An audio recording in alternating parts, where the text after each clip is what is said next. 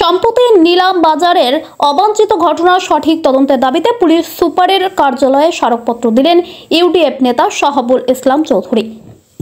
গত সতেরোই ফেব্রুয়ারি নিলামবাজার কালী মন্দিরে সংঘটিত হওয়া অবাঞ্ছিত ঘটনা নিয়ে সরব হন ইউডিএফ নেতা শাহাবুল ইসলাম চৌধুরীর নেতৃত্বে একদল লোক এ মর্মে করিমগঞ্জের ডিএসপি গীতার্থ দেব শর্মার কাছে এক স্মারকলিপি তুলে দিলেন ইউডিএফ এর প্রতিনিধি দল। তারা বলেন, নিলামবাজার কালীবাড়ি সাধনাশ্রমের প্রবেশপথে টিউবওয়েল বসানো নিয়ে যে অবাঞ্ছিত ঘটনা সংঘটিত হয়েছে, সে নিয়ে এক শ্রেণির লোক সাম্প্রদায়িক বিষ বাষ্প ছড়ানোর চেষ্টা করে যাচ্ছে।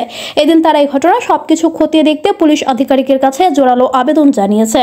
পরিদর্শন করেছি নিলামবাজারের যে কালী মন্দিরের পার্শ্ববর্তী শিহাবুদ্দিনের বাসার যে ঘটনা, সেটা নিজে গিয়ে পরিদর্শন করে দেখেছি যে বর্তমানে যে প্রপাগান্ডা বিষবাষ্প চড়ানো হচ্ছে, সাম্প্রদায়িক বিষবাষ্প, এই ধরনের কোনো ঘটনা, মন্দির নিয়ে কোনো ঘটনাই নয়। মন্দিরকে আক্রমণ করার প্রশ্নই উঠে না। যে বা যারা এই মন্দিরকে নিয়ে রাজনীতি করার চেষ্টা করছে এবং শিয়াবের ভাবমূর্তি নষ্ট করার চেষ্টা করছে সেই ঘটনাটাতে আমি অত্যন্ত আন্তরিকভাবে দীক্ষার জানাই আর। কারণ এখানে একটা টিউবওয়েল ইনস্টলেশন নিয়ে ঘটনাটা ঘটেছে।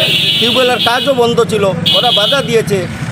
এই অবস্থায় সাড়ে দশটার সময় একদল দুষ্কৃতী লোক এসে এই টিউবওয়েলের মাথাগুলা ব্যঙ্গে চুরমার করে দেয় এবং হাতাপাই শুরু হয় তখন থেকে শিয়াব বাধা দিলে, বলে কাজ কেন ভাঙছো আমার এই টিউবওয়েলটা? আমি তো কাজ বন্ধ রেখেছি। তখন ওরা আমরা সতেরো তারিখে যে নিলামবাজার কালী মন্দিরের পাশে বা কালী কালী মন্দির নিয়ে একটা অপ্রীতিকর ঘটনা প্রচার হয়েছিল এবং সেটাকে একটা সাম্প্রদায়িক রূপ দেওয়ার চেষ্টা করা হয়েছিল। সেই প্রসঙ্গে সত্য ঘটনা জানাবার জন্য এবং মাননীয় জেলা প্রশাসনের কাছে সত্যের জানানি দেওয়ার জন্য, সত্য ঘটনা বলার জন্য একটা মেমোরান্ডাম দিয়েছি আমরা। সেই সঙ্গে নিলামবাজার অধ্যুষিত অঞ্চলের আমরা বিশেষ ব্যক্তিগত বর্গ। আমার আইনজীবী জাকির আহমেদ সাহেব আছেন। ওনারা সবাই ওখানকার লোকালিটির মানুষ। এসে এখন ডিসি মজুরের কাছে যাব। আমরা সেখানে সাহেবকে একটা মেমোরান্ডাম দিয়েছি।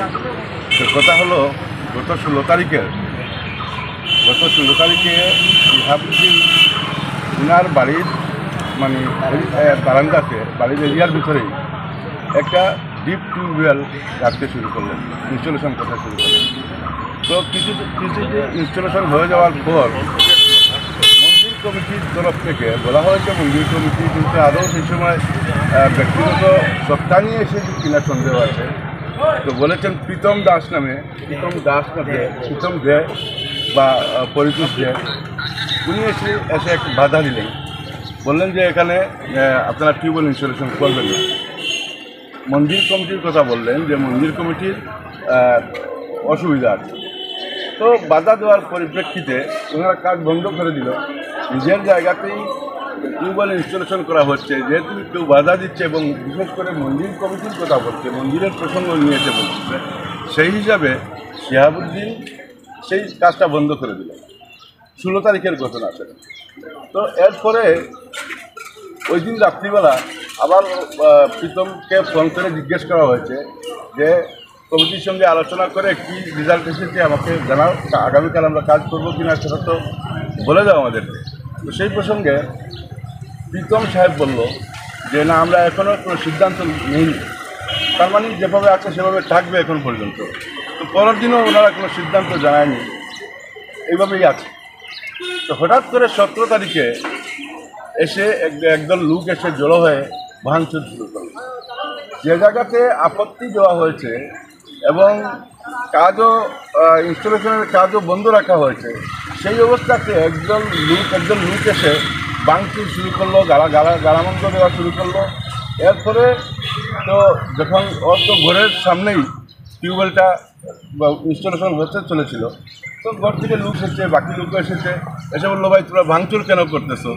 ওটা তো নিষেধ দেওয়া হয়েছে, তো আমরা কাজ বন্ধ করে রেখেছি। তোমরা বললে এমনি জানাবে কি হয়েছে? কিছু জানাওনি, কালকে রাত্রেও ফোন করা হলো, কিছু বল- বললে না। এমন অবস্থায় এসে ভাঙচুর শুরু করলে কেন? তো মনে হলো যারা একটা একটা সাম্প্রদায়িক গ্রুপ করাতে চায়। তো সেই প্রসঙ্গে কথা, কাটাকাটির মাধ্যমে এক কিছুটা হাতাপাই হয়ে গেল। তো হাতাপাই হতে গিয়ে মন্দির প্রাঙ্গনের মঠ ছিল ওগুলো হয়তো ওরা যদি ওরা ইচ্ছা করেই আসে, ষড়যন্ত্র নিয়েই আসে যে কিছু একটা সাম্প্রদায়িক গ্রুপ দেবে ওরা নিজেরাই ভেঙেছে নতুবা হয়তো অনেকগুলো রূপ জড়ো হয়েছে, কারও গা লেগেছে, শরীর লেগেছে, লেগে কিছু মরচট পড়তে পারে। তো এই জিনিসটাকে সোশ্যাল মিডিয়ায় এবং প্রশাসনের কাছে যেভাবে সাম্প্রদায়িক গ্রুপ নিয়ে জড়ানো হচ্ছে এবং বিশেষ এক বর্গের লোককে মন্দির আক্রমণ করা হয়ে, করে নিয়েছে বলে প্রচার করা হচ্ছে, সেটা অত্যন্ত নিন্দনীয় এবং দীক্ষাযোগ্য আসল রহস্য হলো, মন্দির কমিটির নাম নিয়ে যে প্রীতম বা পরিতোষবাবু যে যিনি প্রথম বাধা দিয়েছিলেন, উনি সমস্ত সমস্ত কিছু নায়ক। উনি বাজার কমিটির প্রেসিডেন্ট ছিলেন এর আগে। অঘোষিত অঘোষিত প্রেসিডেন্ট ছিলেন। এরপরে কমিটির হিন্দু মুসলমান সবাই মিলে শিহাবুদ্দিনকে সেই বাজার কমিটির প্রেসিডেন্ট নির্বাচিত করল। সেই থেকে ওর ওনার সঙ্গে শিহাবুদ্দিনের প্রীতমের সঙ্গে শিহাবুদ্দিনের একটা মনোবিবাদ শুরু হয়েছে। আর সেই মনোবিবাদের রেশ সেই মন্দিরের মাধ্যমে মন্দিরের মাধ্যমে আক্রমণ করে তাকে ইয়ে করা হয়েছে। মানে অপর্যস্ত করার চেষ্টা করা হয়েছে। এখন আমাদের কথা হলো, কেস দুটো হয়েছে। এর মধ্যে একজন লোককে পিছন দিকে মারা হয়েছে এবং সে বর্তমানে শিলচর মেডিকেল কলেজ নাম হলো নাজ- নাজমুল হক। সিদ্দিকি শিলচর মেডিকেল কলেজে মেডিকেলে আইসিইউতে ছিল, এখন আইসিইউ থেকে বের করা হয়েছে। ওনার তরফ থেকে একটা কেস দায়ের করা হয়েছে প্রশাসন- প্রশাসন- প্রশাসনের কাছে। এরপর পার্সিয়া সুলতানার তরফ থেকে আরেকটা কেস দায়ের করা হয়েছে। সেই দুইটা কেসের এখনও কোনো অ্যাকশন নেওয়া হয়নি। কথা হলো, প্রশাসনের কাছে আসল সত্য ব্যাপারটা, আসল রহস্যটা উদ্ঘাটন করা হয়নি। সেই রহস্য এবং কার ষড়যন্ত্রে কী হয়েছিল সেটা উন্মোচিত করতে উদ্ঘাটন করতে আমরা প্রশাসনের দ্বারস্থ হয়েছি এবং সত্য ঘোষণার বিবরণ দিয়ে একটা মেমোরেন্ডামও পেশ করেছি। ডিএসপি কি আশ্বাস দিয়েছে ডিএসপি আমাদের মাননীয় ডিএসপি সাহেব এসপি সাহেব ছিলেন না। তো ডিএসপি সাহেব আমাদেরকে শক্তভাবে